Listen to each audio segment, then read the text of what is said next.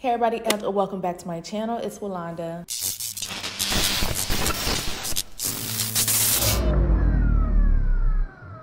So it has been a year since I last did a mini twist video and I have changed it up a little bit. It's not what I do now. So yesterday was my wash day. My hair is completely dry and it has absolutely nothing in it. I do not like putting any products in my hair before my hair is completely dry. I just notice it makes it even worse when it comes to the tangles. It feels soft for me having done a protein treatment yesterday.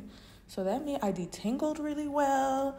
I deep conditioned really well and I pre-pooed really well because last time I protein treat it was not like this. I was literally on the floor trying to twist my hair for good four to five hours. That's how careful I was trying to maneuver through my knots. All right, let's get into this styling video for moisturizer. I do use last time I think I used leave-in and I still have some of that leave-in in. That means I really don't like that leave-in and I've been trying to avoid it to be honest.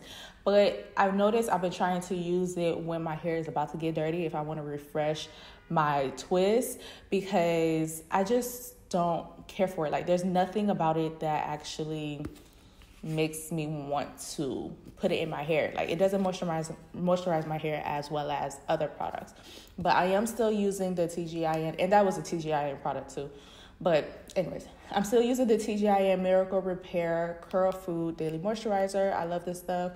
I'm actually almost done with it, but I do have a backup that I'm going to use after this. Um yeah, so I've just been using this and then I seal it with grease. Right now I'm using the Blue Magic Coconut Oil Hair Conditioner.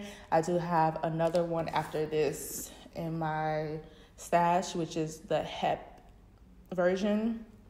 And I mean, for a big bottle of grease, I'm really going through this because I realized, I mean, if you guys have been following me for a while, you guys have known I'm minimizing my stash. So I'm and I'm trying to keep the the things that works and the things that are not going to be a hassle for me to get. So of course you could get grease anywhere. I absolutely love grease on my hair. I mean, I've been using it for a good year now consistently. So I haven't had any problems with it. And then after that, I seal it with some oils. And you guys know I'm using the, oh, both of them from African Pride. One is the sealing oil, Black Castor Miracle, and the other one's the Moisture Miracle. These two I have so many of this one in my stash, so I still have like three or four to get through after this bottle. And then this one is almost done. Actually, this is the castor oil. I'll just will buy regular castor oil. I think this one I got as a PR, and I'm you know trying to go through it. So after I'm done with this, I'm going to be just replacing it with regular castor oil to use it on my hair. But yo, those are the two that I will be using at the end to seal everything up. Other than that, those are the products that I use. Very simple. Don't use any gel, curl enhancer, n- nothing. Just moisturizer, grease, and oil to top it off. And that's it. Let's go ahead and get into this tutorial. So I was debating if I should go ahead and just have music playing in the background or insert a voiceover.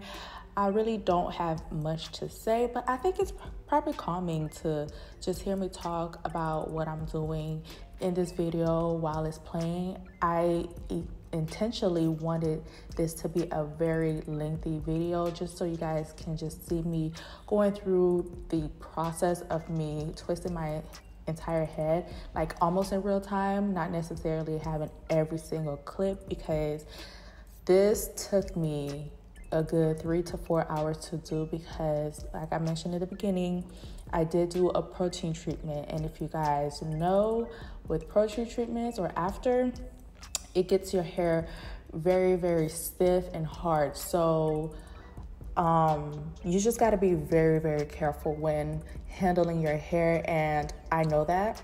And I'm super, super careful and I'm super gentle with my hair. I'm not as rough as I was before because I realized being rough and tugging and pulling and just not being delicate with it make make my hair break a lot and refrain me from retaining length that I've grown. So nowadays I am so relaxed. I am so chill when it comes to handling my hair, twisting it, styling it, it doesn't matter. I'm super gentle with it. And I'm at a point where if I don't have the time, if I don't have um, the patience to handle my hair with care, then I just either put it underneath a bun or not a bun, but a, a turban or a head wrap, do something really cute like that. Or I just wear it unruly. You guys know I don't mind having flyaways. I don't mind having um, very, I guess, quote unquote, messy looking hair because I do twists, I feel as though it's very hard for my hair to just look messy. It always look put together, just not, you know, freshly done. And I'm totally fine with that look. It goes with my aesthetic. It goes with uh, my lifestyle. So I have absolutely no problem not having perfectly twisted hair, everything gelled up, swoop back, tight. I don't care for that look at all anymore. Only when I first freshly get it done, like you guys are gonna see at the end of this video, that's when I rock it, you know, as long as I can when it's very clean and assembled together. Um, other than that, after the first like week and a half to two weeks, I'm totally fine with it looking unruly. So I'm super, super gentle with my hair. Even in this position with me doing these this video, I make sure I'm so comfortable to where I can do my entire head in just one sitting. Because normally what I would do is um, during my video recording, I would just come on this chair and record the parts I want to record and then go somewhere else, probably like sitting on the floor. That's where I normally like to do my twist or just do my hair in general. Go sit on the floor and then watch TV while I do my hair. But I actually sat in the same chair in this position the entire time because I was really comfortable. I had everything in arm's distance. Um, the TV was right behind the camera, so I could easily just look up and um, being in my chair was very comfortable. So I had no problem handling my hair with care and not being uncomfortable. Bye. Bye.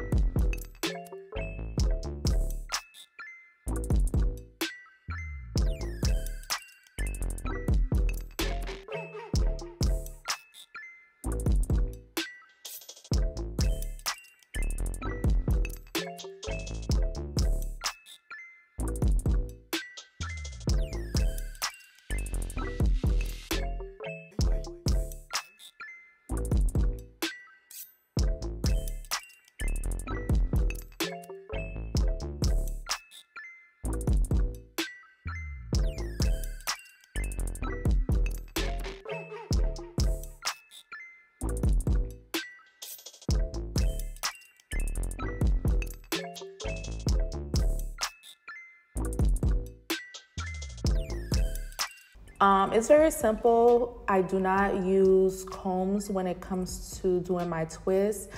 I actually have not used a comb all year, and I stopped using a comb back in December 2022. So, my challenge was for me to use combs as minimum as possible when it came to doing my hair. I just realized it was not necessary at all in the process to doing my hair. So at first I told myself instead of using it for pre-poo and then using it in the shower while I detangle with conditioner and then using it to style afterwards and then using it the second time I style because you guys know I dry first with no products and then I go ahead and style it with um, styling products. But then I realized I don't need it for any of the processes at all. My pre-poo is very slippery, so my detangling does not need any combs. For both of my styling, I don't need it at all. So I could just use my finger nails to part and then that's it. So, so far this year, I have not used any comb in my hair and it has really helped me retain length, minimize the unnecessary breakage I was getting, and just keep my hair thick and on my head, to be honest.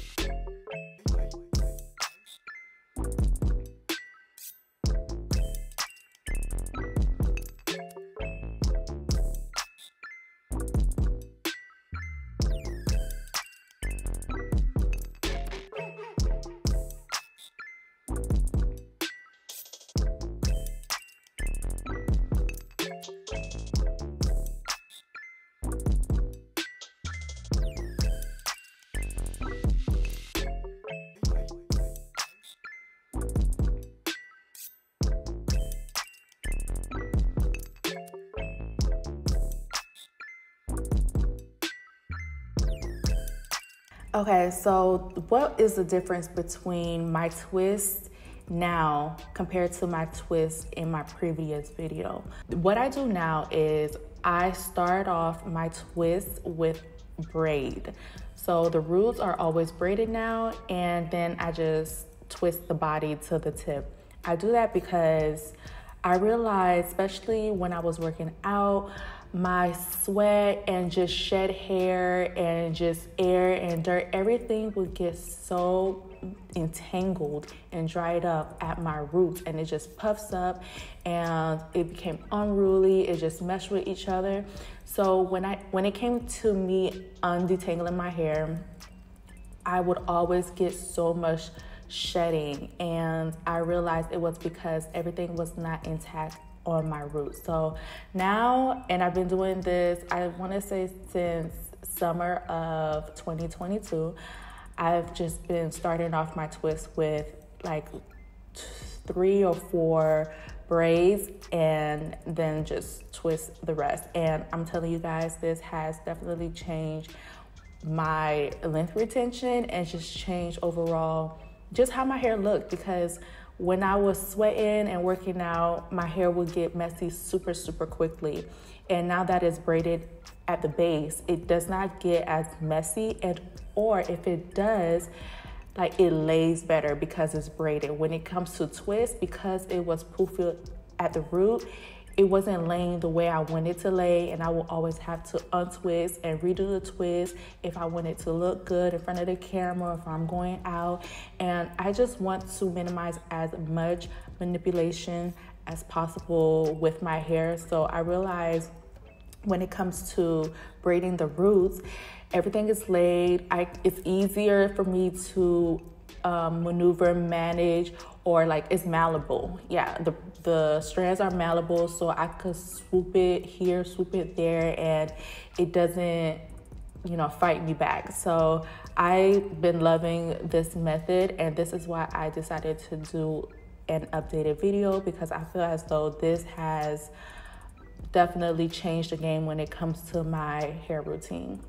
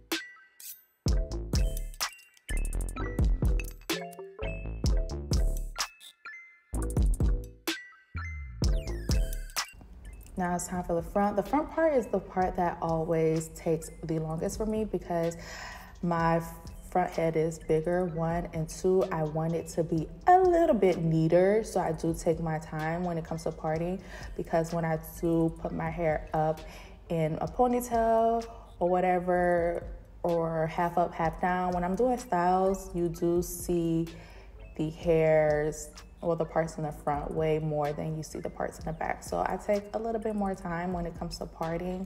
I just use my fingernails.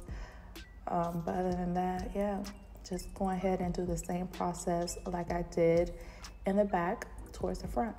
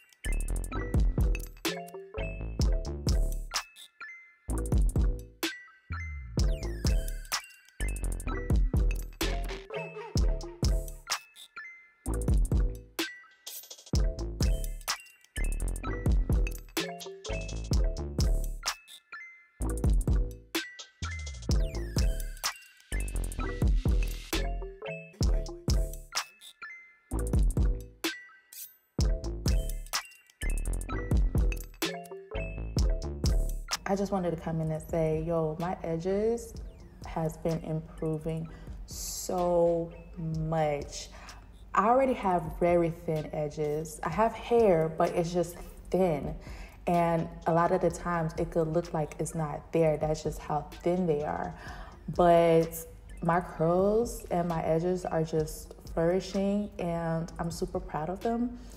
And honestly, it's been because of this method that I've been doing. Nothing is pulling and tugging and stressing them out. Um, there's no products that is on them often. The only product I put on my edges is Gorilla Snot because that is the only glue or edge control that actually works without my edges being too oily and that slicks them down without them becoming harsh and crunchy. So that's the only product that I use on my edges. Being that I don't put anything else on there, there's nothing that's really pulling on them. So they have been flourishing and they will always continue to be thin. That's just you know something I have to deal with because that's just my it's just hereditary. It's in my genes. Like my mom has thin edges, but just preserving what I have is my main focus and realizing that I don't have to do anything extra for them to grow or for them to look up to par. Here and there, I'll put castor oil on them, but I haven't even been consistent with that, so I can't even I'd say that's a routine. But yeah, they're just they just look real good.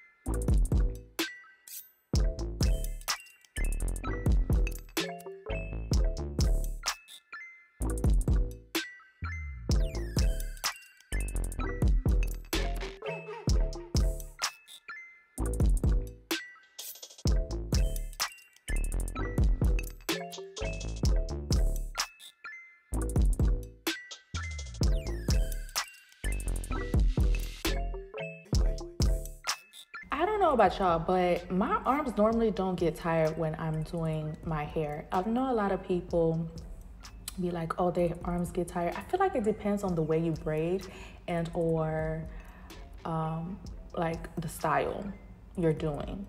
Because if you're just twisting, the first two braids is yeah, it's gonna your arm's gonna be up suspended for a minute, but after that you could just put it down and relax. It's not like you have to have it suspended up the entire time or maybe because the way I sit normally when I'm doing my hair is I sit on the floor and my arms are normally resting on my couch or on my knees.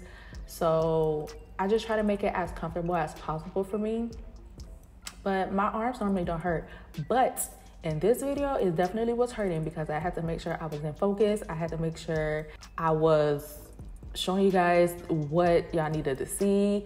I was looking at different type of mirrors to make sure I was in the frame. So this definitely, yeah, my I gotta work out.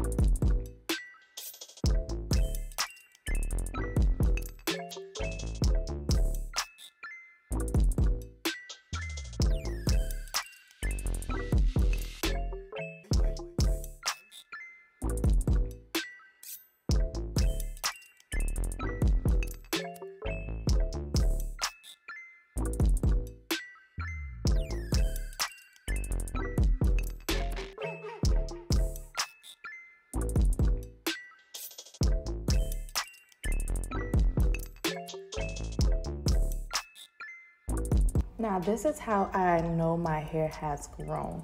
This part right here is normally my thinnest. This part and a little bit above that part is the spots where it's either the thinnest or the shortest. You could you guys can kind of see at that part above it is really really curly.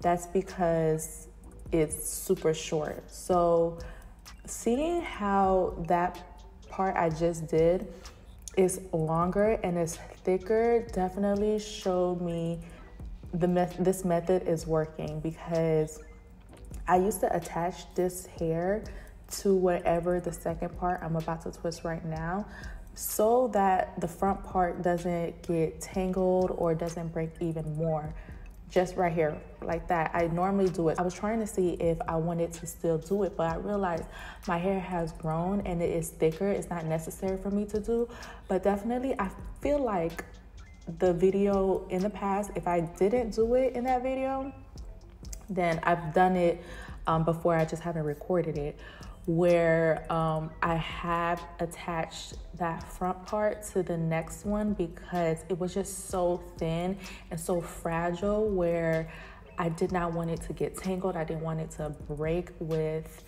uh, within itself. So yeah, this is how I realized this method is really, really helping me retain and helping my hair stay thick.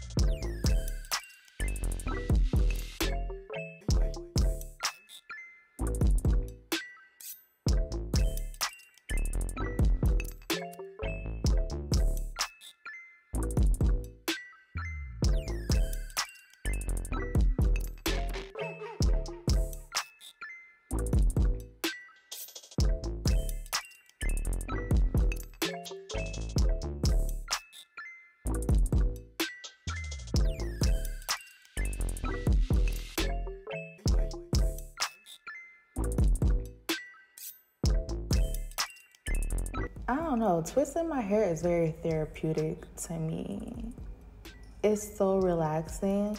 Yes, you have to concentrate on what you're doing, but I don't know, my mind be wandering and I just be in Zen mode to be honest. And it's just like a machine that just goes and that knows what to do and don't really have to think about what they're doing. Only when I am parting, I really gotta think about it. I really enjoy twisting my hair. And I think that is because I only do it once a month. So I hear a lot of people are frustrated when it comes to their wash day and they're trying to make their wash day shorter and shorter or shorter, like into wash hour or wash 15 minutes or a wash, you know, a half a day, whatever it is. I honestly enjoy my wash days because I don't do it often. I feel as though if you are doing something as often as washing your hair like every week or as often as every other day, you are definitely going to get irritated because now it's like a task and it is not as enjoyable. But I realized when I switched from washing my hair every week to washing it every two weeks to washing it and now washing it every four to six weeks i actually look forward to washing my hair so keep that in mind. Maybe you're frustrated as your wash days because you are washing it so often. Now that I wash it every four to six weeks, I cannot, like, just thinking about me washing my hair on a Saturday and then twisting it on a Sunday because it has to be completely dry. Just in case it's not dry that Saturday night, Sunday I have to twist it, do this entire twist process just to do it again in another six days, oh my goodness, I could no. Mm-mm. That is too much. I would get frustrated as well. So I feel as though a lot of people are frustrated with their process or with their natural hair journey because either they're just doing too much or they're just putting more on them than they really need to, which basically doing too much. So maybe you guys need to step it back and minimize how often you're washing your hair.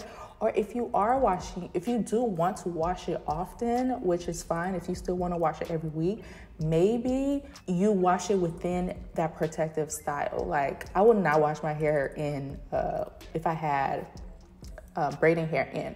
But if I had twists in and I still wanted to wash my hair every week, I would wash it with the twists in.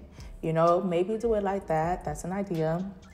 But me washing my hair every four to six weeks, I actually look forward to just having fresh, cold, clean water and soap and in my hair you know just lathering my hair i actually look forward to the process and it's not a daunting process for me so, yeah.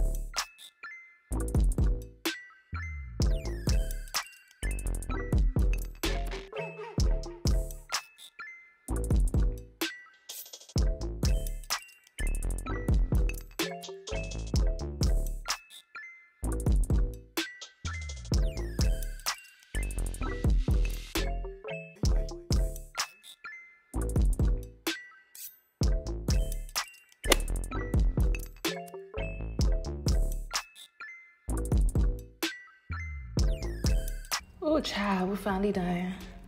I'm not even gonna hold you. It looks nice, but after I finished recording this video, I was looking like, girl, there are so many pieces, like stray pieces that you miss. And that's solely because I was trying to record and do this.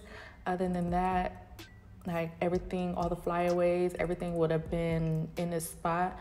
And I was looking like, whoa, this is literally the worst, worst um, twist, mini twists that I've done because there were just so many pieces that were out. And it doesn't look like it here, but trust me, there are too many. Too many that I'm used not used to just being out and about.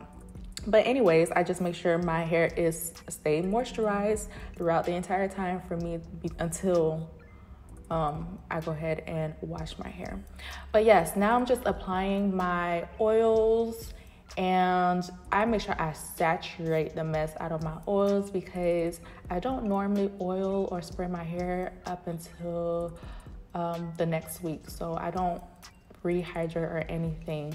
But that is the video. I hope you guys enjoyed and learned something and just, you know, relax and watch me twist my hair. So with that being said, I thank you guys so much for watching and do not forget to like, comment, subscribe, do all that good stuff. Follow me on Instagram at imported underscore chocolate and at Wilonda everywhere else. With that being said, I'll see you guys in the next video. Bye.